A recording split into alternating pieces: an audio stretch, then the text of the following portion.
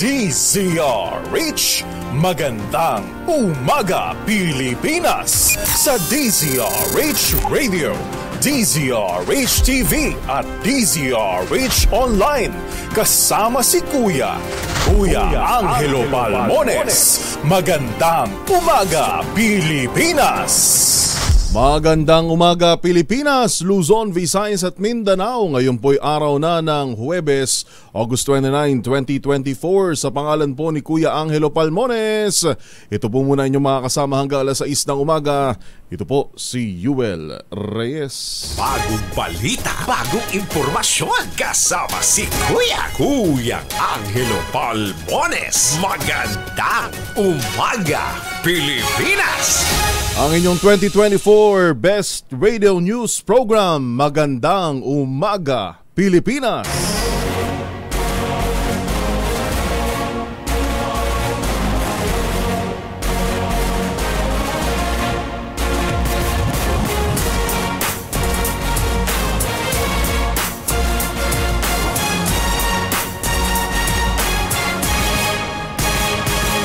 Sa ulo ng ating mga balita, Wet Christmas inaasahan dahil sa late o huling pagsisimula ng La Nina.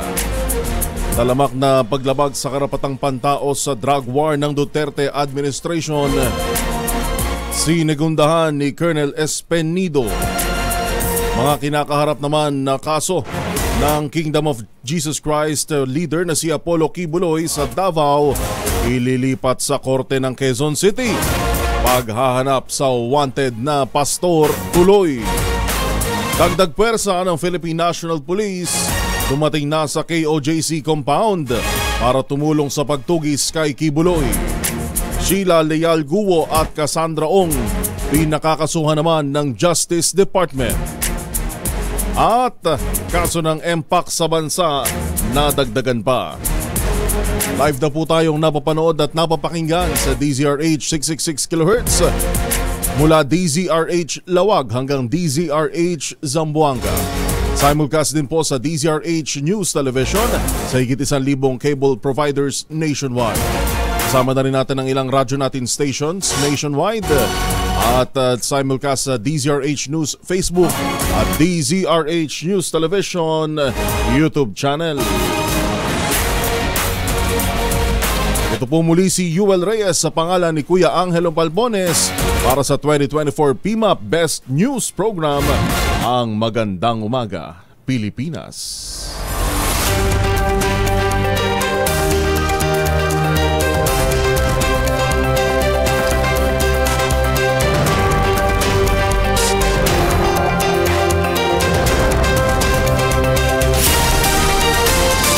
Una sa ating mga balita, posibleng maging wet ang Christmas season dahil sa late na pagpasok ng La Nina phenomenon. Ayon kay Dr. Annalisa Solis, Climate Monitoring and Prediction Chief ng Pag-asa, ang pagsisimula ng La Nina na kinasasangkutan ng mataas na dami ng pagulan ay maaring mangyari sa pagitan ng Oktubre at maaring umabot hanggang Pebrero. Sinabi ni Solis na ang epekto ng La Nina ay mararamdaman sa huling bahagi ng taon hanggang sa unang tatlong buwan ng 2025. Dahil dito sinabi ni Solis na hindi sila o hindi nila inaalis ang posibilidad na mas malakas at mas mapangwasak ang mga bagyong darating. Ito'y dahil sa kasaysayan, karamihan ng mga bagyo sa panahon ng La Nina ay nagdadala ng mas maraming pag-ulan. Inumpirma naman ng isang opisyal ng pulisya na maraming paglabag sa karapatang pantao sa pagpapatupad ng madugong war on drugs ng Duterte administration. Sinabi ni Colonel Jovi Espenido na isa sa mga kinilala ni dating Pangulong Duterte dahil sa kanyang mga nagawa laban sa ilegal na droga, inabuso ng mga taong malapit sa dating Pangulo at kanyang mga kasamahan sa Philippine National Police ang tokhang upang kumita. Bagamat mayroon umano mga napatay na drug lord, sinabi ni Espinido na karamihan sa mga pinsala ay mga ordinaryong pusher at users. Ayon kay Espinido, mga biktima lang ito at gusto nilang mabigyan sana ng second chance. Nang matalaga sa Leyte, Osami City at Bacolod City, sinabi ni Espinido na sinabihan niya mga kanyang mga tauhan na ang big time pusher, supplier at drug lord ang habulin at hindi ang maliliit na user at pusher na tinawag nitong mga biktima. Dumami umano ang paglabag sa karapatang pantao dahil sa kota at reward system kung saan binibigyan ng reward ang mga pulis na nakakapatay ng mga drug suspects. Sabi pa ni Espinido ang, mis- ang misyon sa mga drug suspect ay pasukin para ma-rehabilitate at walang mamatay sa o namatay sa panahon ng panunungkulan niya sa Albuera, Leyte at Bacolod. Sinabi rin ng opisyal na 20,000 piso ang reward sa bawat mapapatay. Sinabi ni Espinido na ang kanyang istasyon ay tumatanggap lamang ng reward mula sa lokal na pamahalaan at ang pera ay kanilang ginagamit para pondohan ang kanilang operasyon.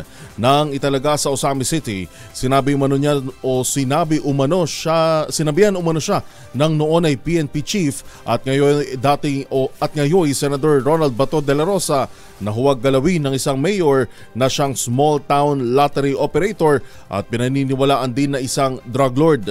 Ang intelligence uh, at pera mula sa Philippine Offshore Gambling Operations o POGO ay ginagamit umano para pondohan o upang pondohan ang reward system. Kaya nga na nabanggit, ano, ito yung uh, nasabi na yung pera sa Pogo ay ginagamit pang reward system dun sa mga makakakuha ng kota. Talaga nga naman, ano.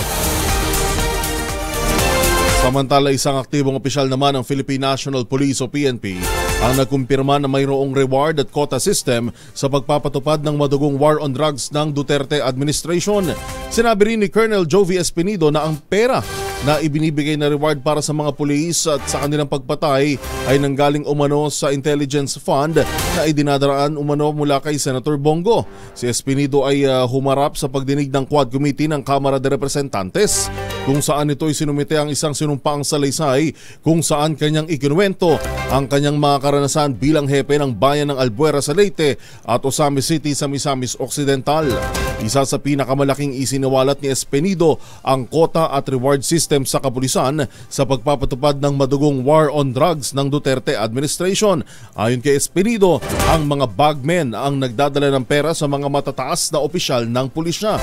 Sinabi ni Espinido na mayroon pang mga bagmen na buhay pa at handa siya nakausapin ng mga ito upang tumestigo sa investigasyon ng Quad Committee.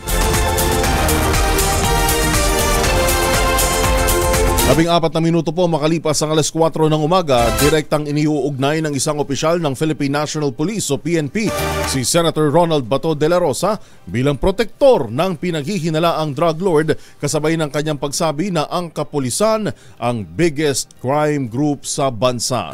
Ito ang ginawang pagsisiwalat ni Colonel Jovi Espinido na kasalukuyang nasa floating status sa PNP na inaasahang magre-retiro sa buwan ng Oktubre sa kanyang pagharap sa ikatlong pagdinig pagdinig ng Quad Committee ng Kamara noong Miyerkules. Isinalaysay ni Espinido sa komite ang kanyang karanasan bilang hepe ng pulisya sa bayan ng Albuera, Leyte at Osami City sa Misamis Occidental na sinabihan ng mga o sinabing ang mga matataas na opisyal ng PNP ang nagbibigay ng proteksyon sa mga sindikato ng iligal na droga at big-time drug lords. Ikinuwento ni Espenido ang kanyang mga karanasan sa pagwasak sa operasyon ng iligal na droga ng hinihinalang drug lord na si Kerwin Espinosa at Osamis Mayor Reynaldo Aldong Parohinog kung saan natuklasan niya kung sino-sino ang mga matataas na opisyal ng PNP na sangkot sa iligal na kalakalan ng iligal na droga. Maganda umaga, Pilipinas!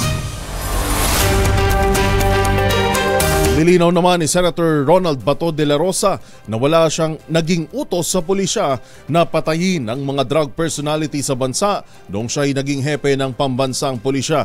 Ginawa ni de la Rosa ang pahayag sa DZRH matapos siyang akusahan ni Colonel Jovi Espinido sa pagdinig ng Kamara bilang leader o tagapag-utos sa naging mga patayan sa war on drugs noong Duterte administration.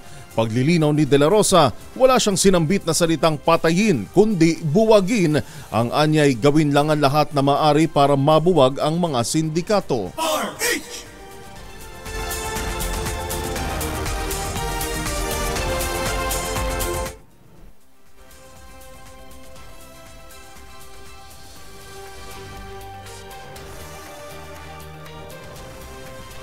Pakinggan natin ang tinig ni Senator Bato de la Rosa.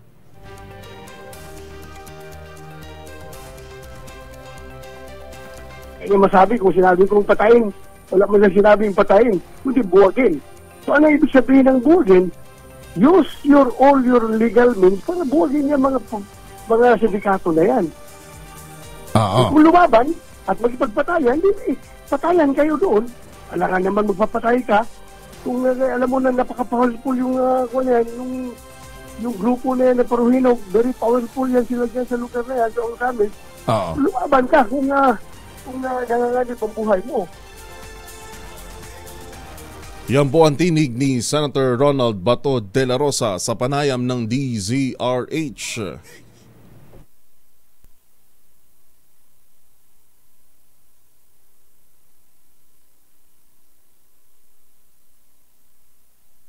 Samantala, oras po natin, labing pitong minuto makalipas po ang alas 4 ng umaga. Sa kaugnay na balita, parte na naman ito ng sarswelang niluluto ng ilang uh, o ng iilan upang mamulitika at manira.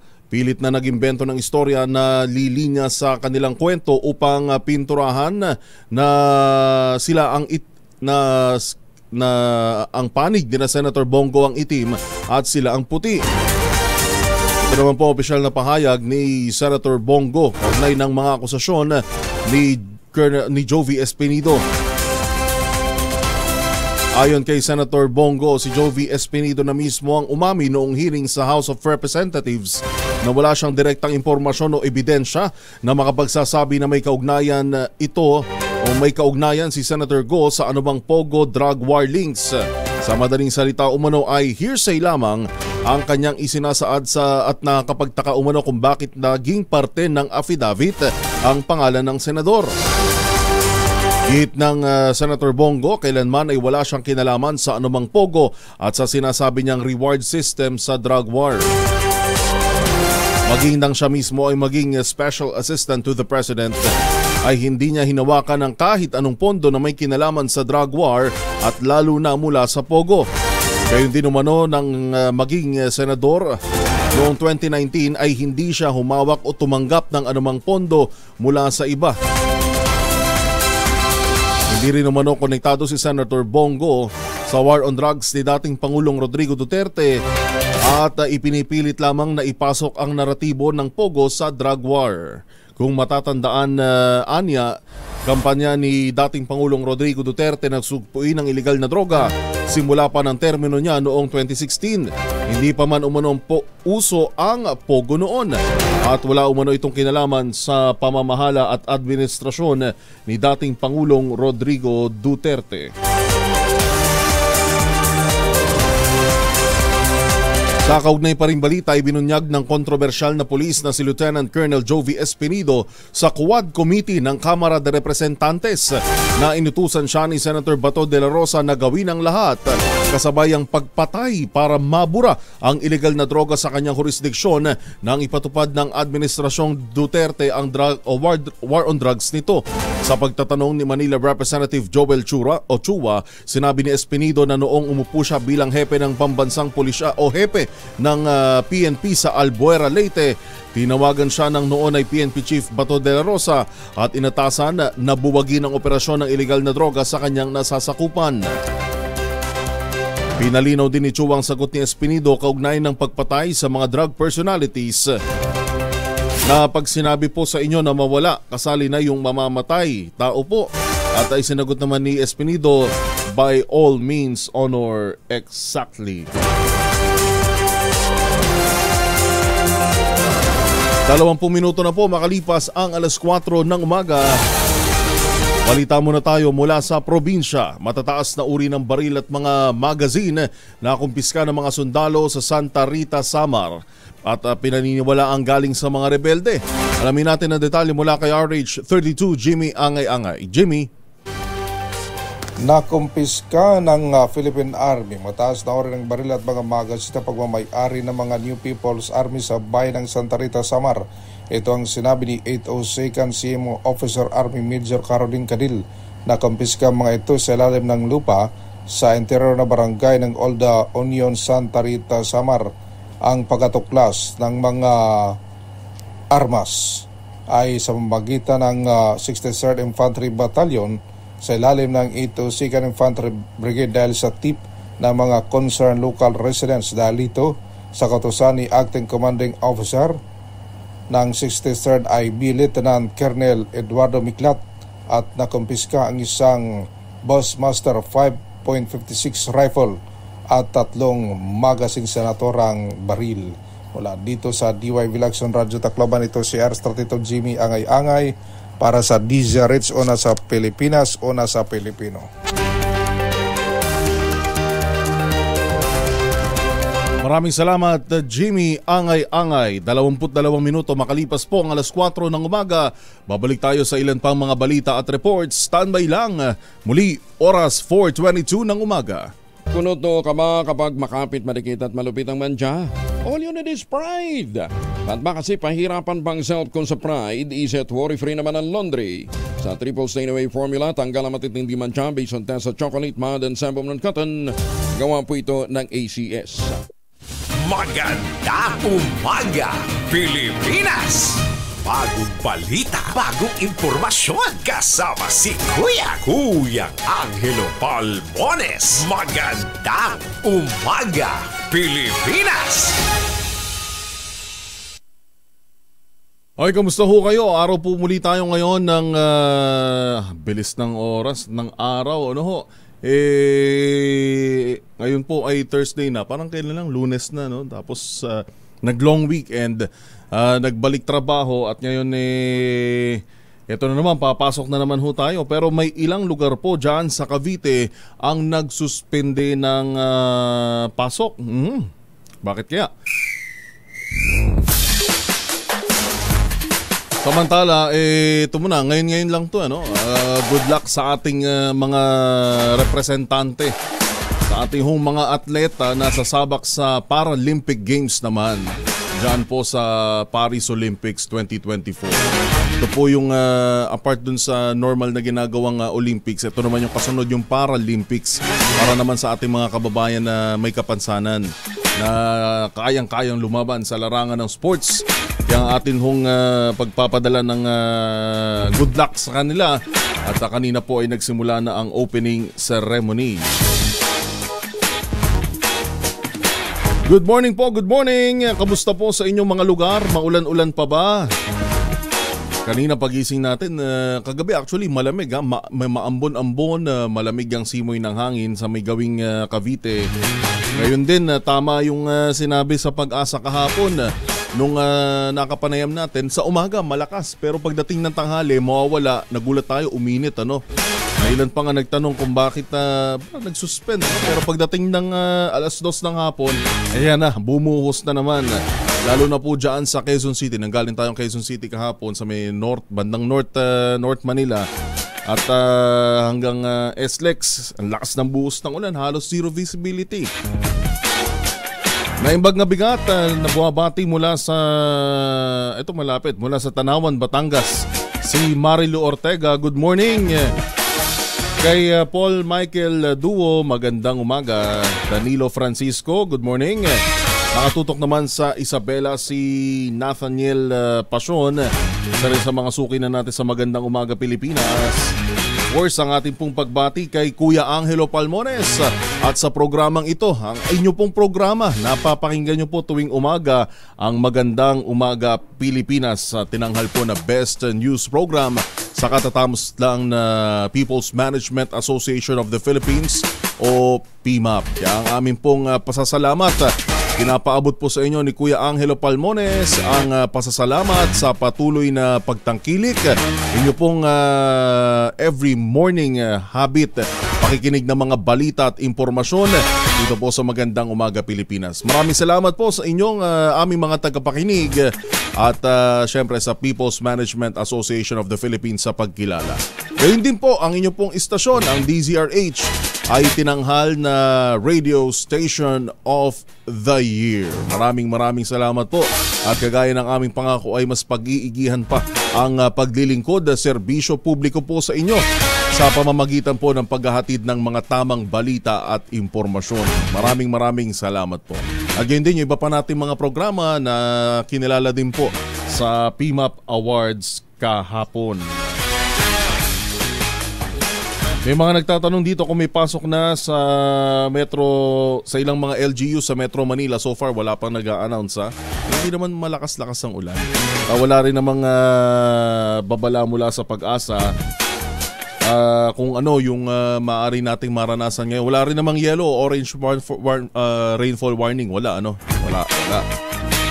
Asahan natin na magiging maaliwalas ang ating umaga. Pero nalaman kung maglabas mamayang alas 5 o alas 6 ng umaga. Good morning, Susan Falcunitin, Veronica Ordanza, o yun yung sa Maynila ha, wala pa. Carlos Longkop ng uh, Samar, Carlito Guillermo ng Aklan, good morning po. Brenda Bello, magandang umaga. Eli Banghit, Maridel Furukawa, ang ating uh, suki na rin. Edwin Morfe at uh, Fernan Estebar, Jim Olier mula sa Alcala, Cagayan. Good morning po sa inyo. Let us know po kung sa inyo pong mga lugar eh, nakararanas ba ng malalakas na pagulan. Padala po kayo na mensahe sa amin. Pari po kayong mag-comment uh, sa DZRH News uh, Facebook page. Yun din po sa DZRH News YouTube channel. At sa ating pong uh, text line via 0919-282-6485. Kagaya nga po ng uh, binabanggit ko sa lalawigan ng Cavite as of uh, ito ho yung uling-huling update ho natin.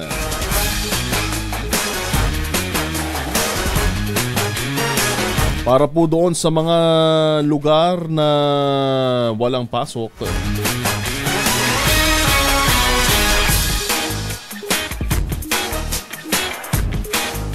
Ina-update lang natin yung wala nating pasok. Ayun! Una na dyan ang, uh, pero karamihan po ito sa Cavite ha. Kahapon walang nagsuspend kasi sa Cavite. Ngayon sila nagsuspend. Oh. Una na dyan ang uh, 13 Martires sa Cavite. Das Marinas Cavite, Noveleta Cavite, Bacoor, Imus, Kawit, Naik, Tansa, Cavite City at General Trias City.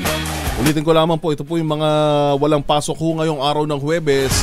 Wala pa ho sa Metro Manila. May nakataas tayong rainfall warning pero wala sa Metro Manila at yan ay nasa bahagi ng Bataan, Zambales at inaasahan lang ang moderate to heavy rain. Pero sa mga wala pong pasok, ulitin ko lamang 13 Martires sa Cavite, Imus, Noveleta, Bacoor, Dasmariñas, Kawit, Naik, Cavite City, General Trias City at Tanza City sa Cavite. O, kasi walang halos nag-suspend kahapon sa Cavite. Pero tingnan ho natin ha, ingat-ingat na rin ho ha. Uh, alam nyo naman ho pagka walang pasok eh, ang pinaka-prerogative pa rin yan ay nasa mga magulang yung inyong papapasukin ng inyong mga anak. Janice Absalon ng uh, Pasig City, binabati ang kanyang pamilya. Absalon family, uy magandang umaga po sa inyo. At uh, mamaya may makakausap tayo ating alamin yung update. Kamusta na nga ba? Yung uh, sitwasyon sa ASF, kung makikita nyo, uh, bayan-bayan, nag-iikot kasi tayo uh, bandang uh, south, Cavite, Batangas.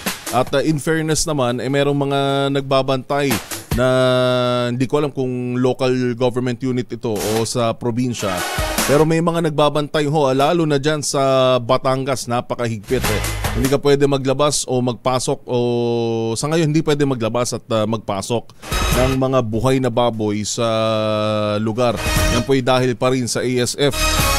So mamaya ay makikibalita tayo kung kamusta ang uh, bakunahan sa ASF at uh, meron na bang uh, nabigyan noong indemnification o bayad pinsala sa ating mga magbababoy na namatayan ng baboy dahil po sa ASF.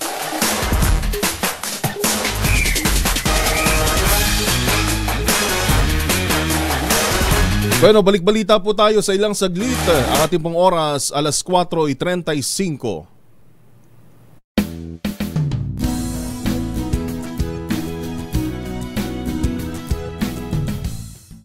Alamin ang mga maiinit na isyung pambayan, mga balitang kailangan mong malaman, usapin sa pamahalaan, politika, ekonomiya at kabuhayan. Ito ang mga dapat mong malaman, pakialaman at pag-uusapan dahil kayo ang tinig ng mamamayan dito sa Damdamin Daming Bayan live sa DZRH Radio, DZRH TV at DZRH Digital kasama sina Lakay, Deo Makalma at Elaine Apit araw-araw lunes hanggang biyernes. Damdaming Bayan.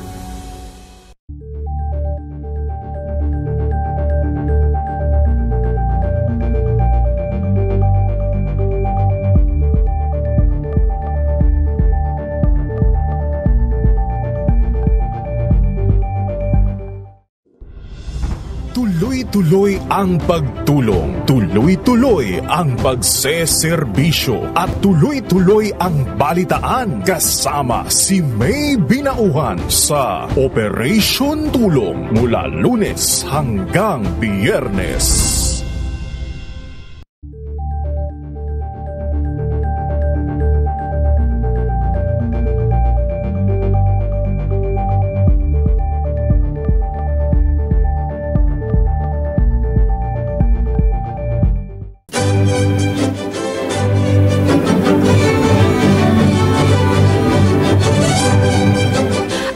Si Lisa Makuha Elizalde na nag-aanyaya sa inyong samahan kami muli sa pagbabalik ng Art to Art alas 13.30 ng hapon dito sa DZRH Radio at DZRH News Television. Usapang sining at kultura para sa lahat tuwing araw ng linggo. Huwag kaligtaan,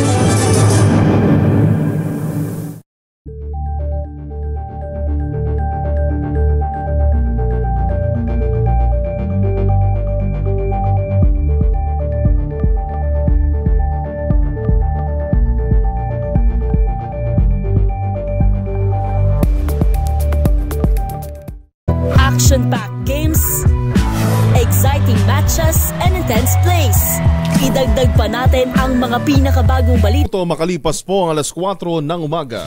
Maganda umaga, Pilipinas!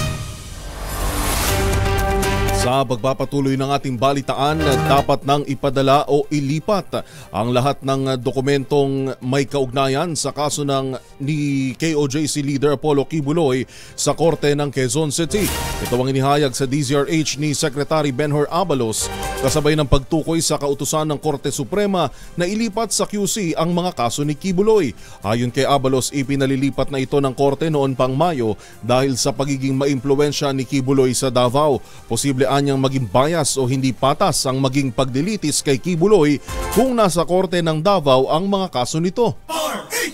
ang hinihingi po nila ay ilipat ito dahil daw si Pastor Kibuloy ay napaka napaka anong impluwensyang tao. At ito ang sabi mismo ng Supreme Court, the transfer of venue of criminal case, the court found compelling reasons to justify the transfer of venue as the case involved public interest with the accused, a well-known religious leader being influential in the area as this could cause local biases and a strong possibility that witnesses cannot freely testify due to fear and influence of the accused. The court found it prudent and judicious to order the transfer of the cases to Quezon City.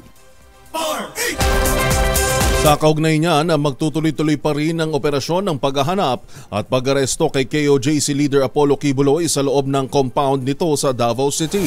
Sa panayam ng DZRH, muling sinabi ni DILG Secretary Benhur Abalos na walang nakalagay sa TPO o Temporary Protection Order ng Davao City RTC na ihinto ang operasyon ng PNP sa compound. Pagdilinaw ni Abalos, tanging ang mga barikada lamang na humaharang sa mga miyembro ng KOJC ang pinatatanggal batay sa order. Walang sinasabing ihinto mo ang operasyon laban kay Pastor Kibuloy. Ayan, Wala, oo. klaro po 'yan, no? So kung anong hindi sinabi, ibig sabihin tuloy mo lang. So ka- lilinawin ko sa mga kasama po natin, ano sa mga nasa Davao po ngayon, yung ating pong tinatawag na na ah, warrant of arrest, ito po ay tuloy-tuloy.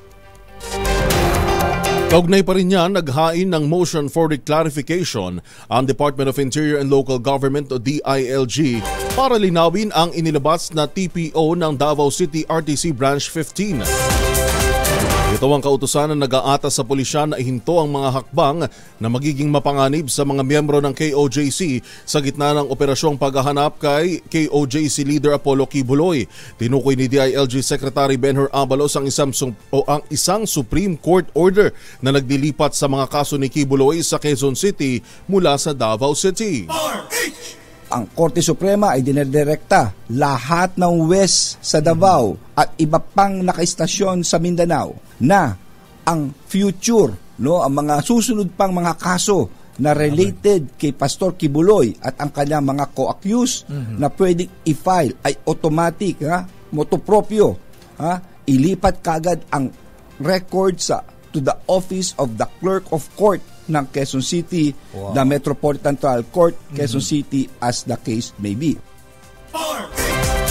Samantala, nais ding linawin ni Abalos ang sinasabi sa TPO na napipigilan umano o napigilan umano ang pagbabarikada ng mga pulis at religious, academic at property rights ng mga miyembro ng KOJC.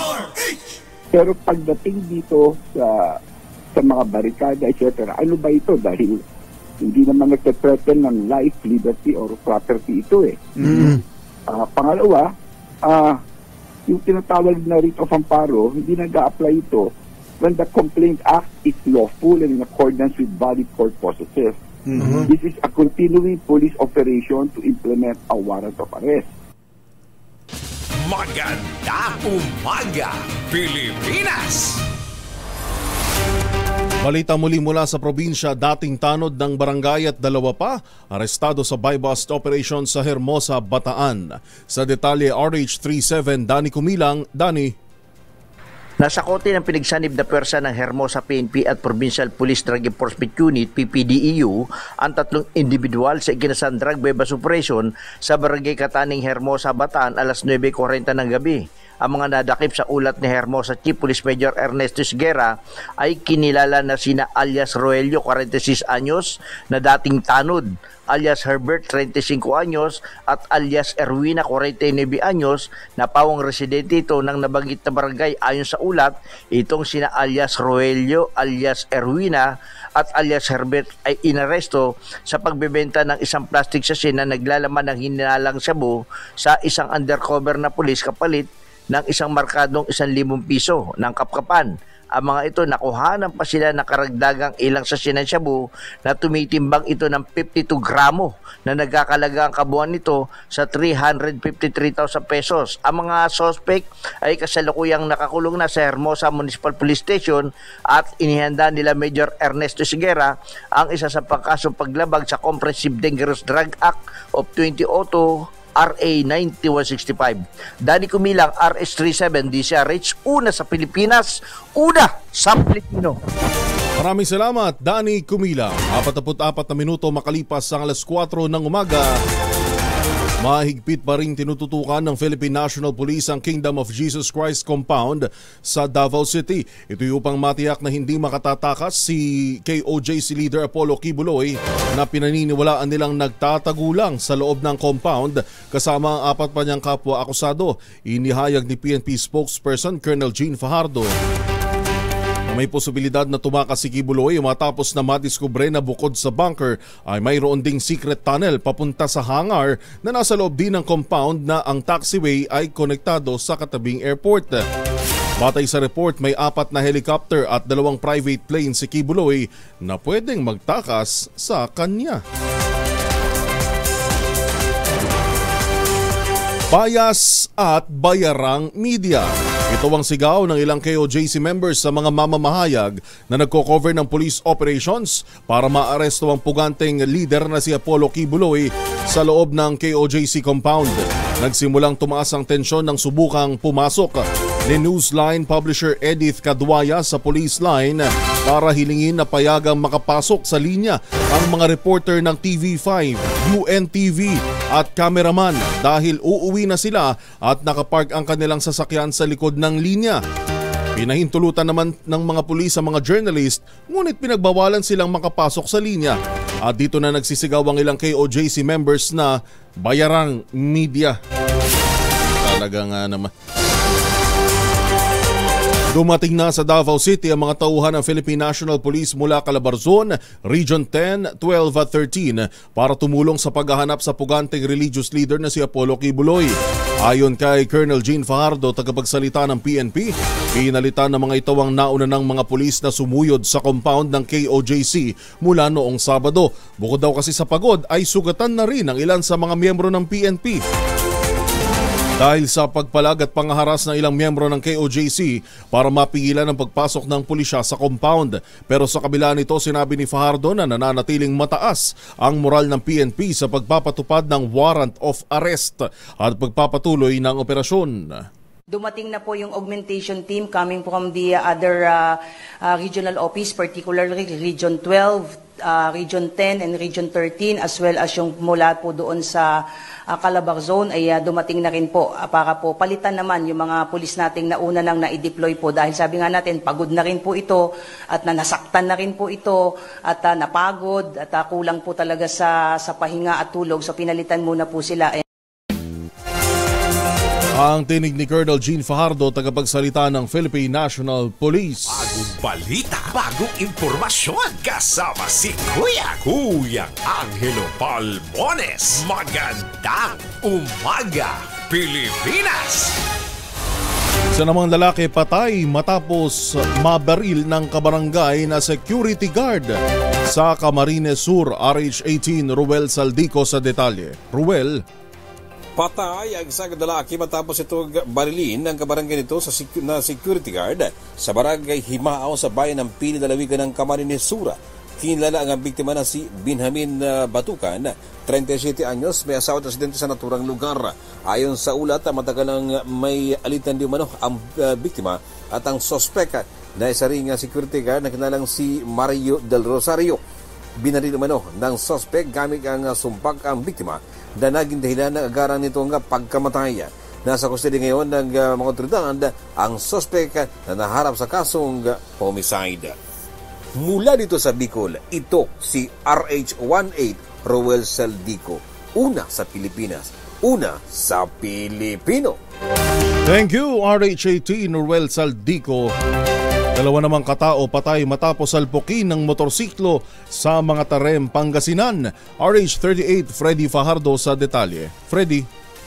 Nakahanduse at duguan sa kalsada ang dalawang katao ng maabutan ng mga Tarim Rescue Team sa kahabaan ng National Highway sa Barangay Ulo, Kakampusan kagabi. Agad silang isinakay sa ambulansya at isinugod sa hospital subalit idiniklarang dead on arrival na ng attending physician ang dalawang sakay ng motorsiklo. Sa investigasyon ng mga tauhan ni OIC Chief of Police Major Ramsey Ganaban, papaliko sa kaliwa ang tricycle habang mabilis naman ang takbo ng motorsiklong sinasakyan ng mga biktima sa lakas ng impact parehong tumila po ng sakay ng motorsiklo na nagtamo ng malubang sugat sa iba't ibang bagay ng kanilang katawan na naging dahilan ng kanilang pagkamatay. Nabatid na galing sa inuman ng dalawang nasawi na kapwa walang suot na helmet at reflectorized vest nang maganap ang aksidente kaya ito'y hindi napansin ng tricycle driver. Ipinaalala ng mga otoridad ang pagsusot ng reflectorized vest para sa tricycle, motorsiklo at bisikleta mula alas 6 ng gabi hanggang alas 6 ng umaga na ito'y nakapalob sa ordinansa ng provincial government na nagsimula noong 15 ng kasalukuyang buwan. Ito si Freddy Pajardo Aristertet nag-uulat para sa DCRH, una sa Pilipinas, una sa Pilipino.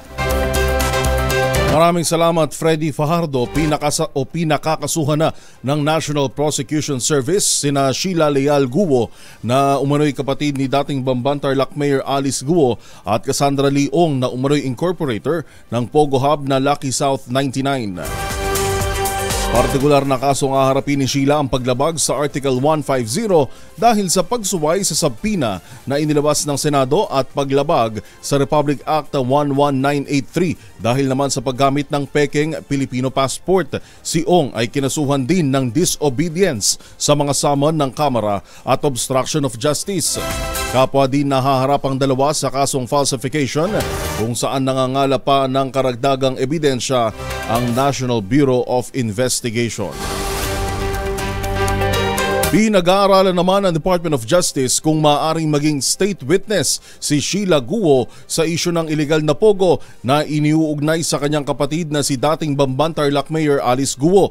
Ayon kay Justice Undersecretary Nikki T, sinabi niyang tila na damay lang sa pangyayari si Sheila kung pag-aaralan ng kanyang kilos at mga naging sagot sa investigasyon ng Senado. Bukod dito, hindi naman anya si Sheila ang may pakana ng illegal na bagay kung paniniwalaan ng kanyang magin o ang mga naging asta sa nasabing Senate hearing. Pero nilinaw ni T na ito'y pananaw lamang niya at marami pang maaring magbago bago maging state witness. Sa panig naman ni Justice Secretary Jesus Crispin Remulla, sinabi niyang hindi reliable si Sheila lalo na sa kanyang mga sinabi. Kailangan din anyang patunayan na kailangan talaga ang kanyang testimonya bago siya gawing state witness. Samantala handa naman bigyan ng immunity ng Quad Committee si Cassandra Leong kapalit ng pagsasabi ng kanyang mga nalalaman sa operasyon ng illegal Pogo Hubs. Ito ang sinabi ni Laguna Representative Dan Fernandez, Chairman ng House Committee on Public Order and Safety sa pagdinig ng Quad Committee. Ayon kay Fernandez, pagbibigyan diin ng komite ang isang executive session kasama si Ong para malayang maibulgar lahat ng kanyang nalalaman.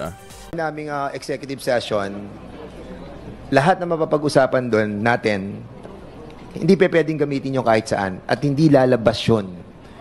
Walang makakaalam ng mga sasabihin mo sa amin. And and uh, and more importantly, more importantly, if you trust this uh, Quadcom and if you trust all the members, bibigyan ka namin ng immunity. You just have to trust us. Ire-recommend namin ng immune, ma-immune ka. Kumbaga, um, immunity. Hindi ka magkakaroon ng uh, ng uh, ng uh, grave uh, kaso. Kumbaga, hindi ka na mapaprosecute. Una rito dalawang beses na pinatawa ng contempt ng Quad Committee si Ong dahil sa pagtanggi na sagutin ng mga tanong pero binawi rin ito matapos makumbinsing sagutin ng ilang mga komite o mga tanong ng mula sa komite. Sa ngayon sa halip na panatilihin sa Women's Correctional ay ilalagay na lamang si Ong sa detention center ng Kamara. Bilateral military exercise naman sa pagitan ng Armed Forces of the Philippines at ng Indonesian Army kasalukuyang nagaganap sa 6th Infantry Campilan Division sa Maguindanao del Norte. Sa detalye RH19, Jun Dimakutak. Jun, magandang umaga. Magandang umaga Pilipinas. Kasalukuyang sinisimulan na ang bilateral military exercise sa pagitan ng Armed Forces of the Philippines at ng Indonesian Army na may temang Pilindo Strike for 2024. Ginanap ang opening ceremony sa 6th Infantry Campilan Division bilang event host kung saan si 6th ID Chief of Staff Colonel Edgar Catu ang nag-welcome sa participating forces. Saad nito ang layunin ng aktibidad ay ang makapagbuo ng learning collaboration, friendship and cooperation sa pagitan ng sandatahang lakas ang Pilipinas at ng Indonesia. Ayon naman kay keynote speaker Assistant Division Commander for Reservice and Retirees Affairs Colonel Jose Ambrosio Roscha, ang aktibidad ay nakadisenyo upang iangat umano ang joint operational readiness, improve strategic communication, and to build mutual trust. Ang Indonesian contingent naman ay pinamumunuan ni Colonel Inf Yuki Malinton Corniafari Commander ng 11th Infantry Brigade Nadik Sakti Tentara National Indonesia ang Katandarat. Anya, mahalaga sa aktibidad na ito ang exchanging strategies and experiences at hangad umano nitong matuto rin sila ng mga strategic planning sa hinahangaan nilang mga Filipino soldiers na bihasa sa iba't ibang larangan ng pakikidigma. Mula sa kununahan sa Pilipinas, DZRH, ako si RH19, June Dimakutak, nag-uulat sa DZRH, una sa Pilipinas, una sa Pilipino. Maraming salamat, June Dimakutak. Meron na lamang po tayong limang minuto bago mag alas 4 o alas 5 ng umaga. Hinahanapan ni Senadora Amy Marcos ang Department of Agriculture ng murang imported na bigas sa lokal na pamilihan. Dismayado kasi ang presidential sister na hindi pa rin maramdaman ng mga Pilipino ang mababang presyo ng butil na pangako ng 15% na tapyas taripa. Ayon kay Senator Marcos, mahigit isang buwan matapos ipatupad ang Executive Order 62 ni PBBM, nananatili sa mahigit 60 pesos ang kada kilo ng imported rice. Bago anya ito ipatupad, nasa 60-65 ang kada kilo ng special imported rice, 56.84 ang premium imported, 53.43 ang well-milled imported at 49.78 naman ang regular milled imported.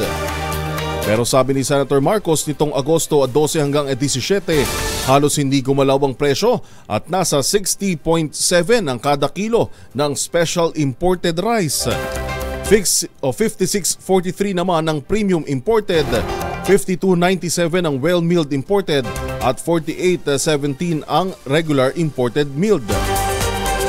Sa makatuwid ay lalo pang sumipa. Malinoan niyang hindi umubra ang pagbaba sa taripa kaya muli siyang nanawagan sa gobyernong isalang ito sa review sa, o i-review kasama ang konsultasyon sa mga magsasaka at iba pang stakeholders. Muli ring iginiit ng, o iginiit ng senadora na hindi solusyon ng krisis sa bigas ang tariff reduction kundi ang pagpaparami ng lokal na produksyon sa pamamagitan ng pagsuporta sa mga magsasaka at sektor ng agrikultura. Samantala, abot naman sa 500 residente sa Florida Blanca, Pampanga ang nabiyayaan ng ayuda mula kay Senator Lito Lapid. Kabilang sa mga benepisyaryo ay mga senior citizens, PWDs at maging ang mga estudyante. Inaasahan ni Lapid na makatutulong ang ayuda sa pangangailangan ng mga benepisyo gaya po ng mga pambili ng pagkain at gamot. Mainit naman ang naging pagtanggap ng bayan ng Florida Blanca kay Senator Lapid at nagpasalamat sa napapanahong ibinigay na ayuda para sa kanila.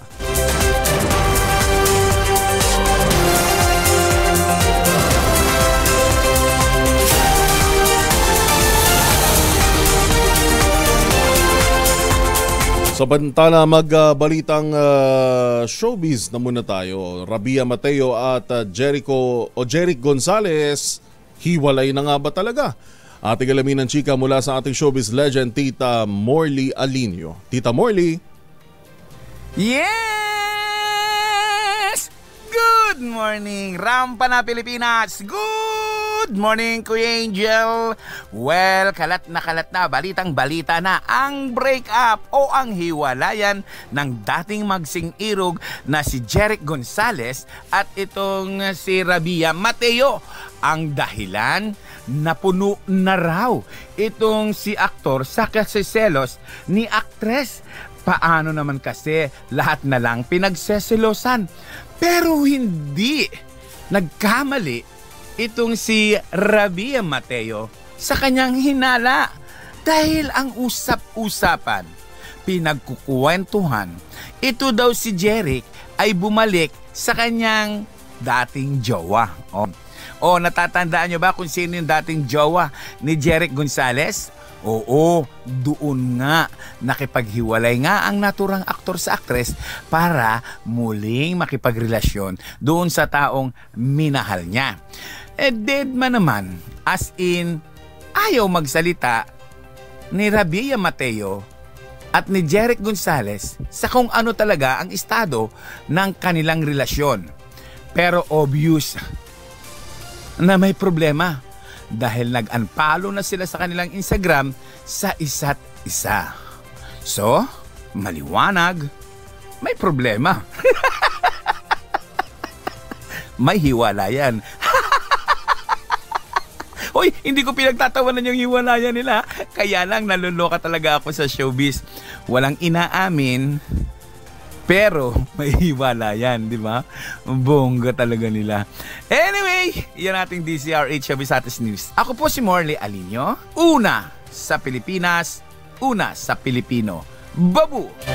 Aming salamat, Tita Morley Alinio. Bagong balita, bagong impormasyon. Kasama si Kuya, Kuya Angelo Palmones. Magandang umaga, Pilipinas! Alas 5 na ng umaga.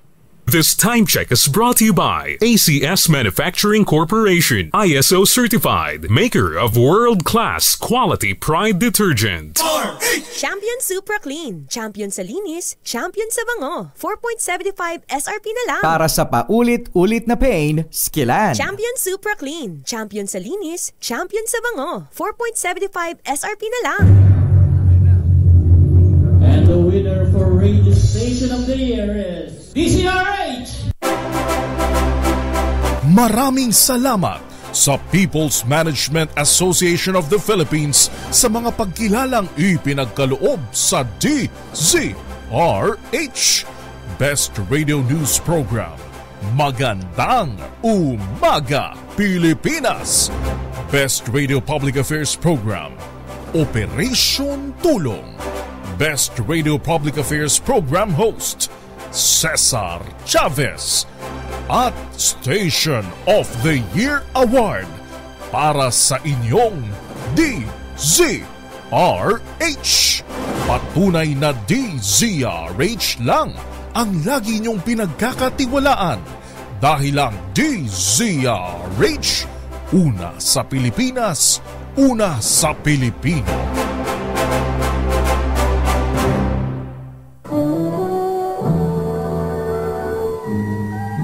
Kauna-unahan sa Pilipinas. Manila Broadcasting Company. DZRH, a proud member of MBC Media Group. Member KBP, kapisanan ng mga broadcaster ng Pilipinas at ang inyong PMAP Station of the Year. Oras po natin dalawang minuto makalipas ang alas 5 ng umaga. DZRH, magandang umaga Pilipinas sa DZRH Radio, DZRH TV at DZRH Online. Kasama si Kuya, Kuya, Angelo Palmones. Magandang umaga Pilipinas!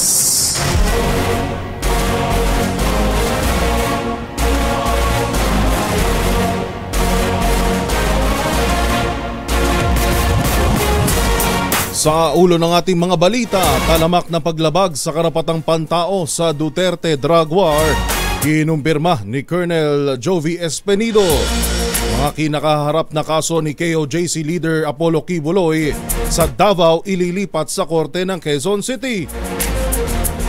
Paghahanap naman sa puganteng pastor tuloy.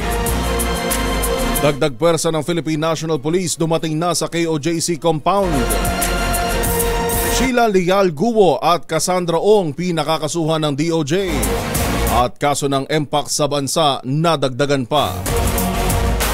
Yan po muli ang ating ulo ng mga balita ngayong 29 ng buwan ng Agosto. Huling uh, Huwebes na po ito sa buwan o ngayong buwan 2024.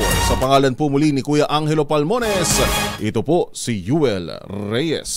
Magandang umaga, Pilipinas! Kasama na natin si Rhea Torres ng DOST Pag-asa. Ma'am Rhea, magandang umaga. Magandang umaga po Sir Yuel, magandang umaga po sa ating mga tagapakinig. Sa kasalukuyan po ay wala tayong binabantayan na low pressure area o bagyo sa loob at labas ng ating Philippine Area of Responsibility at patuloy pa rin ang pag-iral ng southwest monsoon o hanging habagat sa malaking bahagi ng Luzon at Visayas. Ngayong araw, posible pa rin yung mga katamtaman hanggang sa malalakas na mga pagulan sa Zambales, Bataan, Occidental Mindoro at Palawan.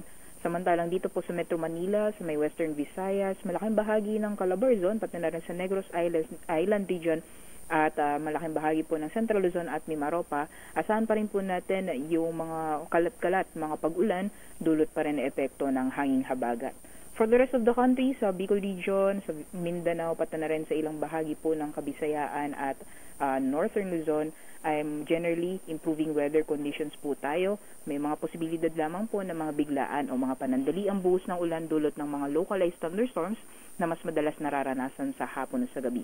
Sa mga susunod na araw sa darating na weekend, improving weather conditions din po tayo sa malaking bahagi ng ating bansa. At sa kalagayan po ng ating karagatan, wala po tayong gale warning sa ngayon Iba yung pag-iingat lamang po sa mga planong pumalaot sa may kanlurang karagatan po ng ating bansa dahil inaasahan po natin yung maulan na panahon dulot ng epekto ng southwest monsoon o hanging habagat. Yan naman po latest mula dito sa Pag-asa Weather Forecasting Center. Ria Torres po, magandang umaga. Ma'am Rhea, pahabol na tanong lang po. Yes po. Opo, ah, yung naranasan natin kahapon ah, na umaga, malakas ang ulan, na nawala ng tanghali, nagpatuloy sa hapon. Ngayong araw, ganito rin po ba ang aasahan natin, lalo na po dito sa Metro Manila at ah, Cavite? For areas po, yours, uh, specifically dito po sa atin, uh, Mm. inaasahan po natin, hihina na po yung mga pagulan. So, hindi po siya kasing kala- uh, lakas nung mga naranasan po natin kahapon. Although, Mhm. uh, inaasahan po natin, medyo may pagkamukulimlim yung panahon, uh, nasa light to moderate naman po yung mga pagulan na maranasan. Alright, maraming salamat po Ma'am Rhea. Maraming salamat din po. Magandang umaga po. Maganda umaga, Pilipinas!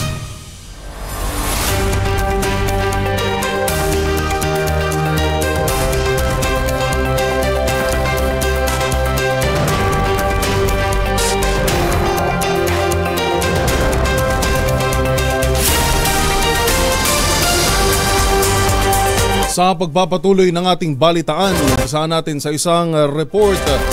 Magjowang vlogger, labing pitong iba pa. Sospek sa phishing arestado ng PNP ACG. Ating alamin ng detalye RH52 Edniel Parosa. Edniel. Joel, sinalakay ng mga tauhan ng Philippine National Police Anti-Cybercrime Group ang hinihinalang kuta ng voice phishing o yung phishing kung tawagin sa Imos, Cavite. Dito na sukol ang labing siyam na sangkot sa kasabing pang-scam kabilang ng dalawang social media personalities na hindi na pinangalanan pero magnog di umanong vlogger.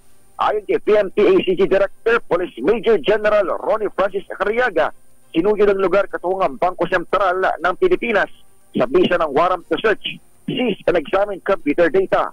Nakumpiska sa mga suspect ang mga SIM card, mga gamit nilang mobile device, laptop, mga dokumento sa bangko at script na gamit nila sa kanilang panggagancho. Modus na umano ng mga ito magpanggap bilang representante ng mga bangko at mangumbinsi sa kanilang mga kliyente na mag-update ng kanilang credit card para makakuha ng kaukulang impormasyon.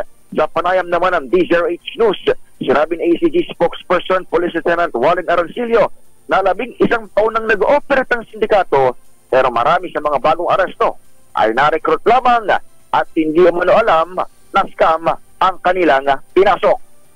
Ito si Edniel Parrosa, nag-uulat para sa DZRH. Una sa Pilipinas, una sa Pilipino.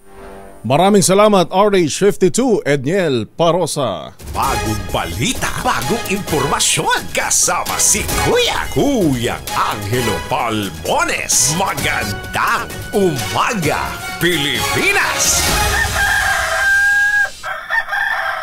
Babalik po tayo 8 minuto makalipas ang al- alas 5 ng umaga. Magandang umaga, Pilipinas!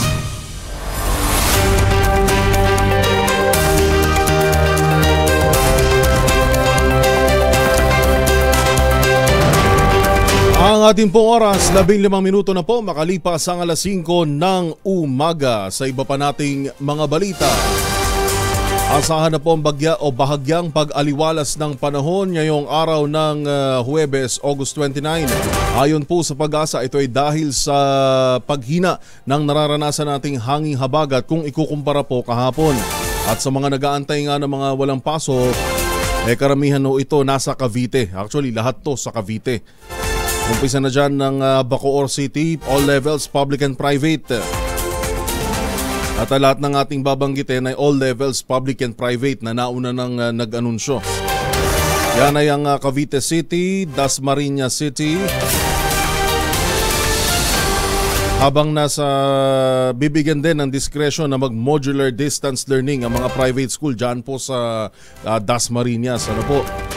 Sa General Trias City sa Cavite, gayon din uh, all levels, public and private. Imus City, Kawit, uh, Cavite, Naik, Cavite, Noveleta, Tanza at 13 Martires City sa Cavite. Lahat po yan ay sa Cavite, all levels, public and uh, private. Pero maganda, sabi ho ng pag-asa, eh, makakapahinga tayo ngayon. Pwede maglaban ng konti. Bagamat may mga tsansa pa rin ho ng uh, localized thunderstorm at nandyan pa rin yung habagat, yun nga lang humina.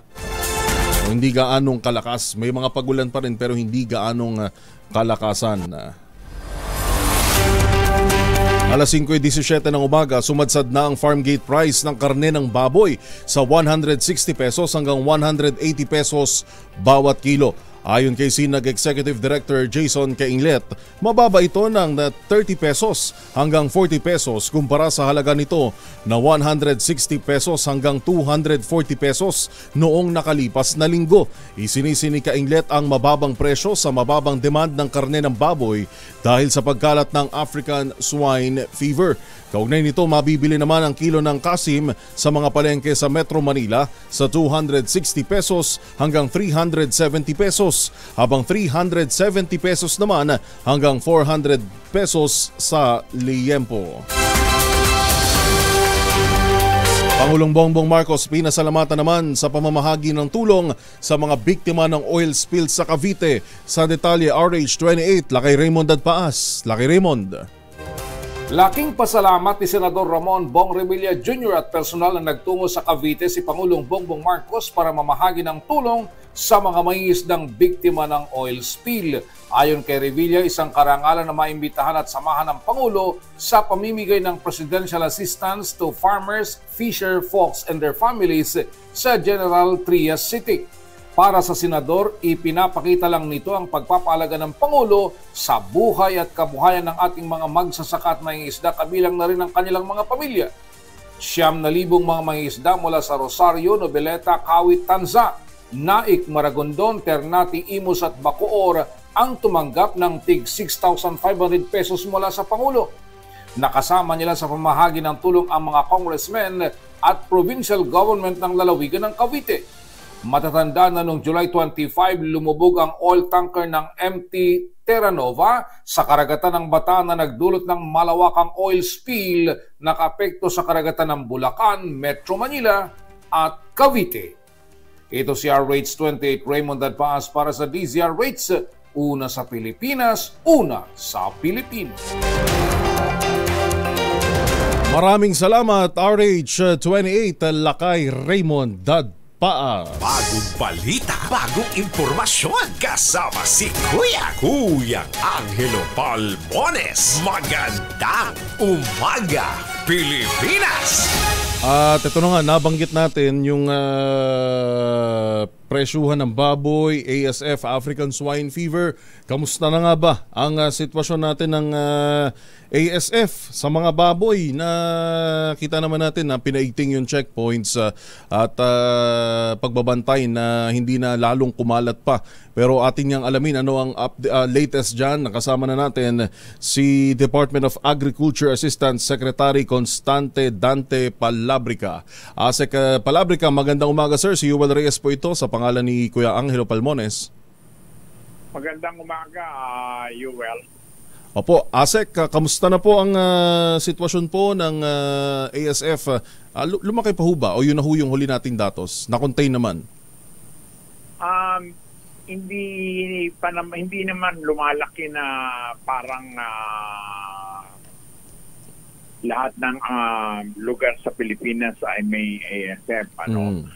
Um, ito'y controlled sa mga areas na na dati nang mayroong uh, sakit at uh, ngayon ay lumabas muli dahil nga sa sunod-sunod na ulan at bagyo. Mm-hmm. At the same time, yung movement ng mga sakit na baboy na kinokontrol natin through checkpoint.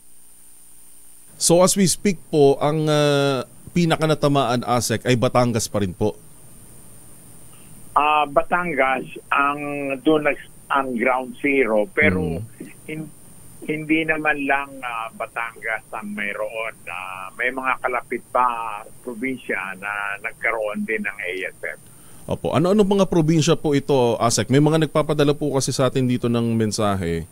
Uh, doon daw sa kanilang uh, probinsya sa bandang uh, Central Luzon po yata ito. Isabela, ayan, may, may ASF din daw po sa kanila.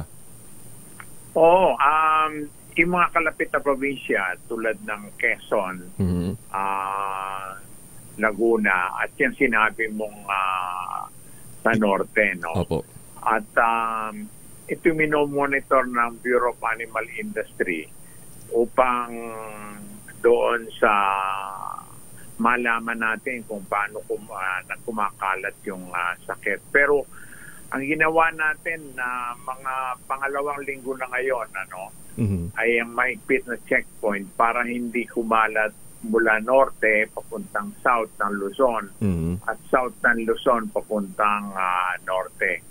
At uh, mahigit uh, tatlong daan na ang uh, binaon natin baboy pag nahuli sa checkpoint at nag-positive ay pinabaon nito sa um, sa Boreal site mm. ng uh, bahay. So meron ho ba lang uh, mga nagtatangka pa rin, Asek? Uh, ito pong 300 na to, ito ho yung uh, mga nasita ho natin sa checkpoint na walang dokumento. Ah, uh, correct. Uh, dalawang klase ang sinisita sa uh, checkpoint. Uh, una, pagka peke ang dokumento mo na at pangalawa ay yung may mga sintomas na baboy. Mm-hmm. At ito ay kinukunan ng dugo upang malaman kung ito ay positive or negative. Pag positive, diretso na to sa libingan. Pag uh, negative, uh, pinakakawalan na ito uh, para makatay na sa slaughterhouses. Mm. Paano ho ba ang sistema ASEC dun sa uh, mga checkpoints ho natin? Uh, yung resulta ho ba na kinukuha sa ating mga baboy, eh, mabilis lang po ba yung resulta nun o may pinagdadalhan pa tayo dito sa mga baboy na to kung sakaling uh, walang dokumento at pag nagpositibo saka kukumpiskahin?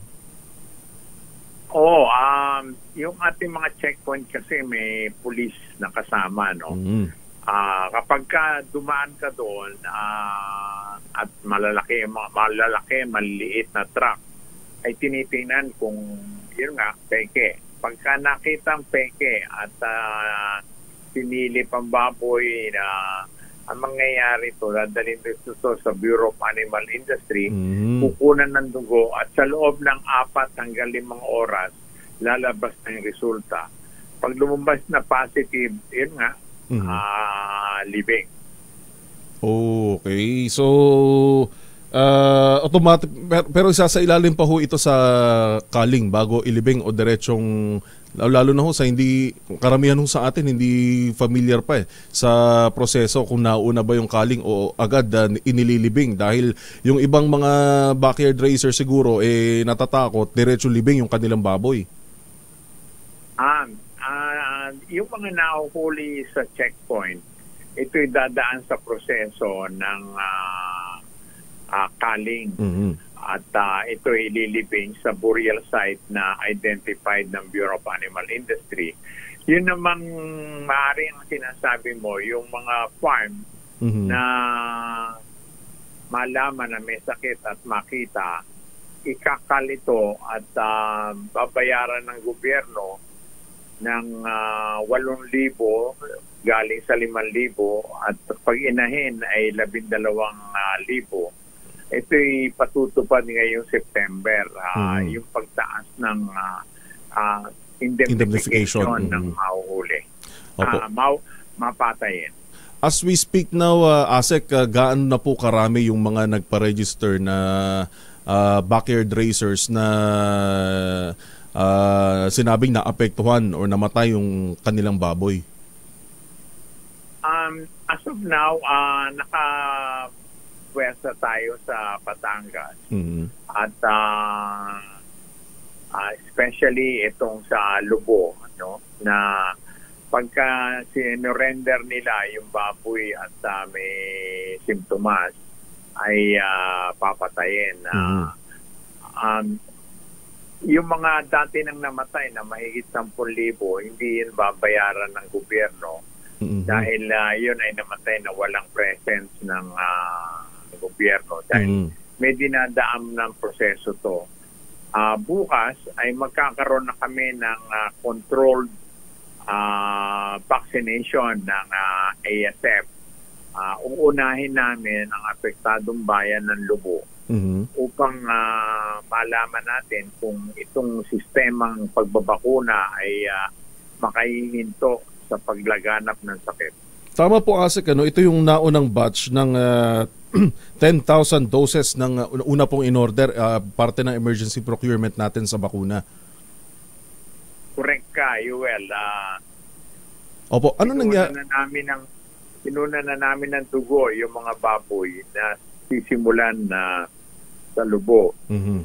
At bukas ay ah, sa presence ng ah, Food and Drug FDA at mga tao, pero iko-control namin dahil ah, for biosecurity, biosecurity reason, ay sisimulan na natin bakunahan yung mga baboy na apektado. A baboy na ah, malapit sa red zone o Mhm. pinanggalingan ng ah, sakit. Ito po ba, paano po magiging uh, sistema nito, ASEC? Ah, katulad po ba ng initial plan natin o ah, magbabahay-bahay na tayo dun sa mga baboy? Pag uh, nakumpirmang walang ASF, pwedeng makunahan? Oo, ah nung pang ah, ling, isang linggo, nagbahay-bahay na ang munisipyo upang malaman sino ang gusto magpabakuna. At ah, kahapon ay kinunan na na ng dugo. Kasi kailangan negative sa ASF Mhm. bago bigyan itong ah, bakuna na binigyan ng permit ng ah, FDA ah, controlled release, monitored release ang ah, ibinigay na permit at uh, check natin kung matino ang ah, epekto at um, uti-uti natin dadagdagan ang mga bayan na babakunahan. Mhm. Ah, isang bagay po, ASEC, anong, ano, ano pong nangyari? Ano yung naging ah, balakid? Ah, kung di po ako nagkakamali, nung isang linggo pa dapat nasimulan yung atin pong ah, bakunahan ng baboy dyan po sa Lobo. Um, kasi ganito eh, meron kaming ah, proseso, no? Hindi pwedeng ibigay itong bakunang ito sa mga farmer. Kailangan, una, ang magbabakuna ay tao ng gobyerno. Pangalawa, kailangan na i-cluster natin ang mga baboy para hindi masayang ang ah, isang bote na may ah, 50 ah, doses. At ah, pangatlo, titingnan natin kung ah, ito ay ah, may sakit sa pamagitan ng pagkuha ng dugo. At pang-apat, may pipirmahang ah, note ang farmer para dito sa proseso ng ah, pagbabakuna. So nagsimula na next ah, last week ito at ah, yung actual ng pagbabakuna ay ah, gagawin bukas, biyernes. Mm, ayun, so tuloy-tuloy na po ang ating uh, bakunahan. Ako sana marami sa ating mga backyard racers ang ah, makilahok sa programang ito ng ah, ng ah, ng ating pong gobyerno lalo na para masugpo itong ASF at hindi na kumalat pa sa iba pang mga lalawigan. Correct ka. At um, ano, mainit na sila magpabakuna pero hindi natin pwedeng ah, shoot lang ng shoot ng Mm, bakuna mm. at ah, kailangan monitored release ito ng FDA at nakabantay ang ah, FDA pati mga stakeholders dito. Alright, maraming maraming salamat po sa pagsama sa amin ngayong umaga at sa update po na ibinigay po ninyo, Asek Dante Palabrica. Thank you. Si Asek Dante Palabrica po ng Department of Agriculture. Magandang umaga, Pilipinas! Alas 5.30. Ang balitang ito ay hatid sa... Magandang umaga, Pilipinas!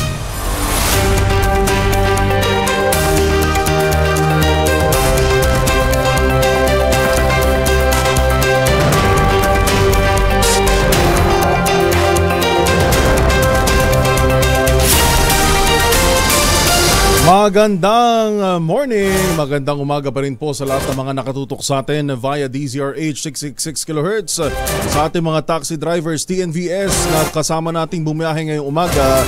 Good morning po at syempre sa mga ating uh, listeners dyan sa Cabanatuan City. Eh, Marilu Geronimo, good morning. Leidalin Nacion ng uh, Aurora, Lynn Buenavente, Joey Sarmiento, Zoraida Falorina, Mary Gramonte, Merlin Lumaban, G. Tumampas, good morning po, magandang umaga Pilipinas. Umabot naman sa 2,000 POGO workers ang nag-downgrade ng kanilang working visa matapos iutos ni Pangulong Bongbong Marcos ang total POGO ban sa bansa. Sa Senate hearing para sa budget ng Department of Justice, inihayag ni Immigration Commissioner Norman Tansinko na huminto na ang kanilang ahensya sa pagtanggap ng aplikasyon para sa 9G visas para sa mga Pogo Company. Pinoproseso na rin anya ang pag-downgrade sa working visas ng mga empleyado ng Pogo at binibigyan nila ng hanggang October 15 ang mga ito upang ayusin ang kanilang dokumento. Sabi ni Tansinko mula sa 9G ay ibababa nila ang visa ng mga Pogo workers sa tourist visa kung saan binibigyan pa sila ng 50 siyam na araw para makaalis ng bansa. Pero paglilinaw nito, tanging mga pogo na legal na nag-ooperate o yung tinatawag na Internet Gaming Licensees o IGL ang binigyan ng pagkakataon na ma-downgrade ang kanilang visa. Maganda umaga, Pilipinas! Abot naman sa apat na pung sako ng basura na naging sanhi ng pagbaha sa Malabon, may nahakot na kaya RH23 Edwin Duque. Edwin, magandang umaga. Good morning, Joel. Matapos yung uh, mga pagbaha hapon, nasa 40 sako ng basura yung nakolekta ng City Engineering Department.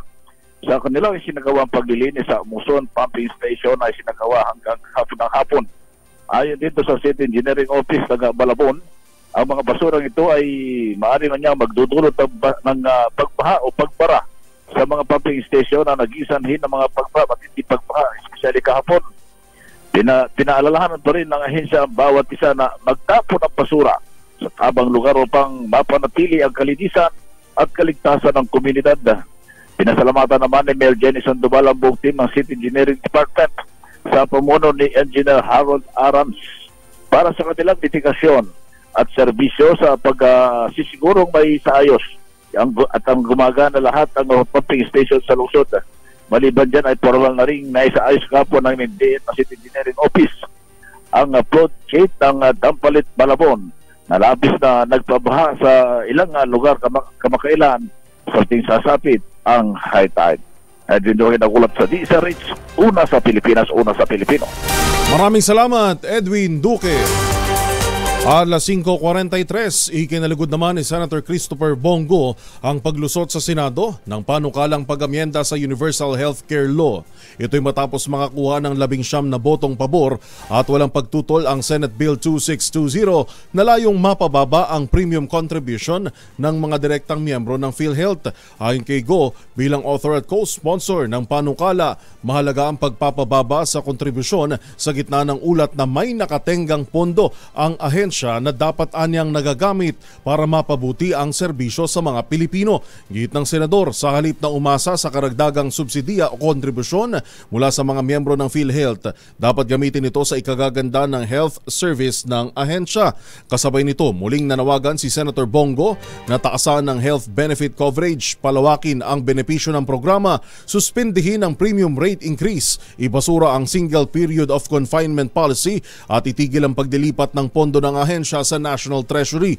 Mababatid na kung tuluyang maisa sa batasang panukala, gagawing 3.35% sa susunod na taon ang premium contribution rates mula sa kasalukuyang 5%.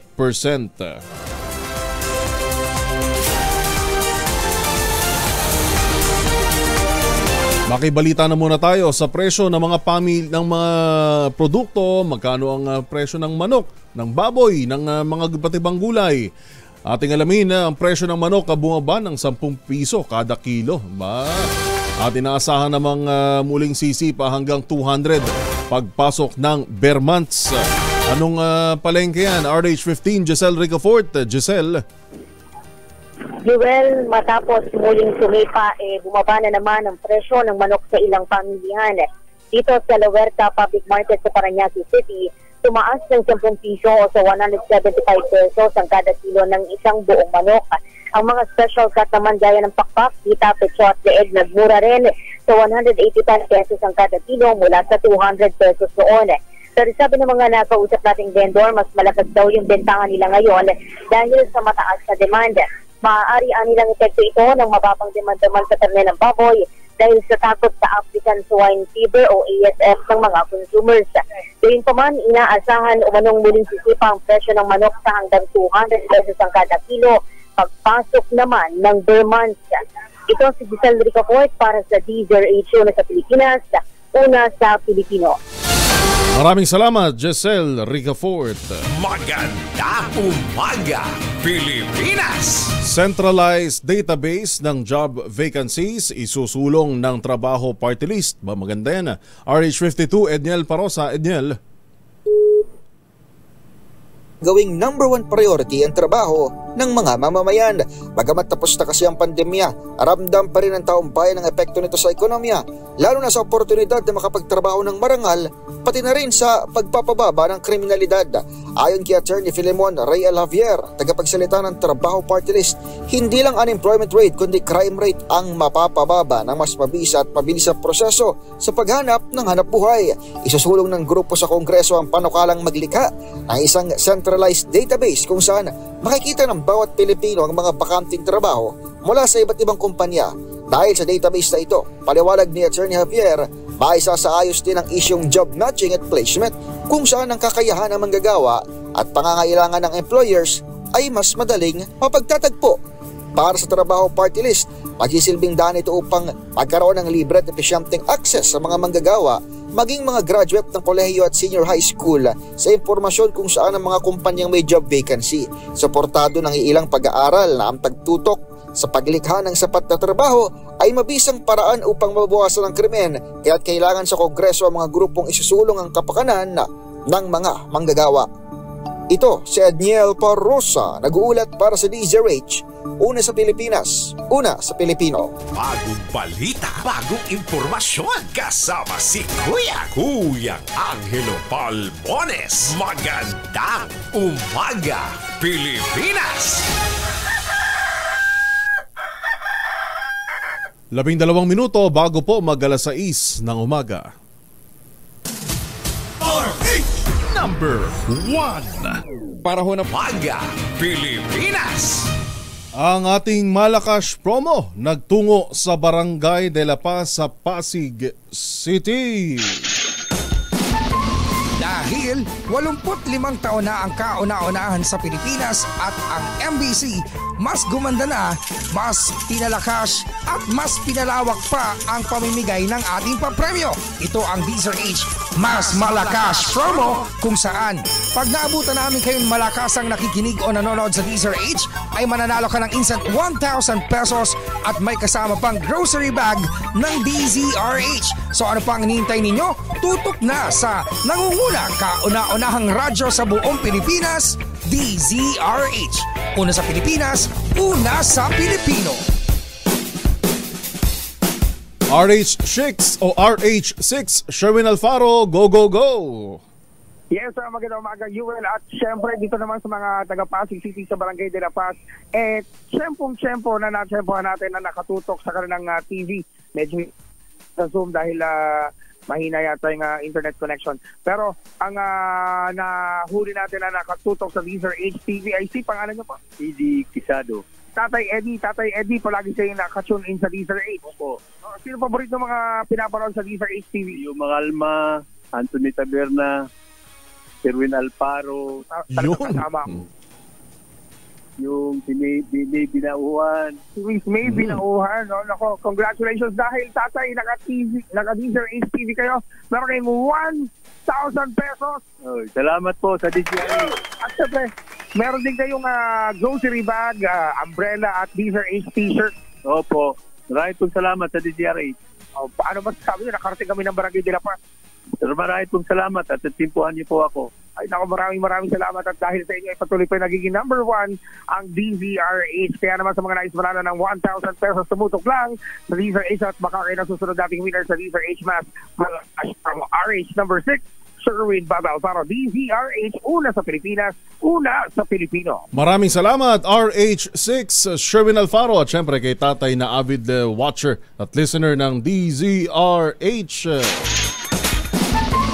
Dahil 85 taon na ang kauna-unahan sa Pilipinas at ang MBC mas gumanda na, mas pinalakas at mas pinalawak pa ang pamimigay ng ating papremyo. Ito ang Deezer H Mas Malakas promo kung saan pag naabutan namin kayong malakas ang nakikinig o nanonood sa Deezer H ay mananalo ka ng instant 1,000 pesos at may kasama pang grocery bag ng DZRH. So ano pang hinihintay ninyo? Tutok na sa nangunguna kauna-unahang radyo sa buong Pilipinas, DZRH. Una sa Pilipinas, una sa Pilipino. Maganda umaga, Pilipinas! Apat na minuto bago po mag-alas 6 ng umaga, hinahunting na ngayon ng Metropolitan Manila Development Authority o MMDA ang driver ng pulang Hyundai Stargazer na nasangkot sa banggaan sa Taguig City. Sa video na ipinost ng MMDA sa Facebook, makikita ang pagharurot ng kotse para takasan ang kinasasangkutang banggaan. Ito'y kahit pa makitang nakasampa na ang traffic enforcer sa unahang bahagi ng sasakyan na tuloy sa pag-andar at ang video na hinahabol ito ng enforcer. Ipinatawag na ni MMDA Assistant General Manager David Angelo Vargas ang kanilang tauhan upang ilahad ang pangyayari para sampahan ng reklamo ang sangkot na motorista. Hihilingin din ng ahensya na makansela ang lisensya nito sa Land Transportation Office. Bagong balita, bagong impormasyon. Kasama si Kuya, Kuya Angelo Palmones. Magandang umaga, Pilipinas! Eh, mag-showbiz na tayo. Two-time Olympic gold medalist Carlos Yulo, abay mag-aartista na rin kaya? Ating alamin na detalye mula sa ating showbiz legend. Sa pang showbiz legend, Tita Gorgie Rula. Tita Gorgie, magandang morning. Inikot na ni Carlos Yulo ang mga TV network at noong Martes ng hapon ay nasa ABS-CBN itong Paris Olympics two-time gold medalist. Sinalubong siya ng mga executives ng Kapamilya Network pero biglang dumating itong si Coco Martin para magpa-picture kay Kaloy.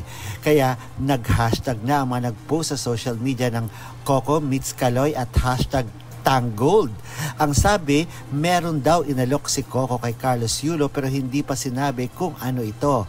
Ang hula ng karamihan ay inalok nga ng kapamilya Teleserye King na mag-guest sa kanyang ang Batang Quiapo. Mm. Malay natin, baka isa sa mga episodes ng Batang Quiapo ay mapapanood na natin si Kaloy na nagtatumbling sa labas ng Quiapo Church. Ang sabi pa ng aming source ay meron na raw talent manager na magha-handle ng showbiz career ni Carlos Yulo at pati ang girlfriend nitong si Chloe San Jose. Hindi pa man nila sinasabing papasukin na nila ang pag-aartista pero meron na raw taong kakausapin kung sakaling imbitahin itong mag-guest sa mga TV shows o baka pati sa pelikula. Kaya abangan na lang natin kung mag-showbiz na nga ang magkasintahang Carlos Yulo at Chloe San Jose. Rula po nag-uulat sa showbiz ng DZRH, una sa Pilipinas, una sa Pilipino. Maganda umaga, Pilipinas!